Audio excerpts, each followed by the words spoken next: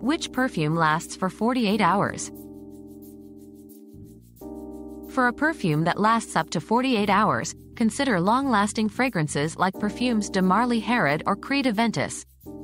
These fragrances are formulated with high-quality ingredients and a high concentration of oils that ensure they stay on your skin longer. Apply to pulse points for maximum longevity and avoid rubbing the fragrance into your skin, as this can break down the scent.